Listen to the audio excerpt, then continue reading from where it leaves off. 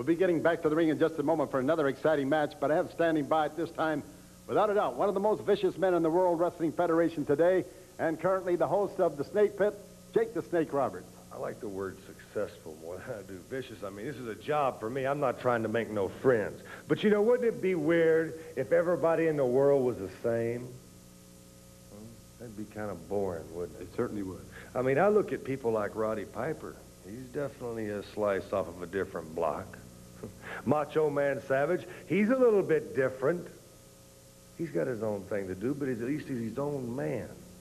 And then I look at people like Honky Tonk Man. I mean, come on, man. Elvis has been dead for years, you know what I mean? Well, he's a very uh, impressive wrestler. Oh, does, has he impressed you? Yes, he has. Not me. Not me, not at all. Wear shiny suits with the dance. This ain't dancing, my man. Koko B. Ware. And that greasy black junkyard dog, what do you think you are? What makes you special? I'll tell you what makes me special. Ever since I was born, I've had the devil walking beside me up and down the line. I know where I want to go.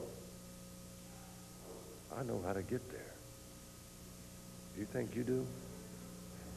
Well, if there's ever a moment in time that you need that question answered, and I happen to be standing across that ring from you, it's that time that you've made a big mistake.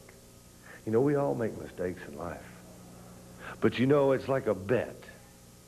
They say you shouldn't bet on anything unless you can afford to lose. And what I'm telling you is that when you step into the ring with me, you cannot afford to lose. Because you just might not get back up again.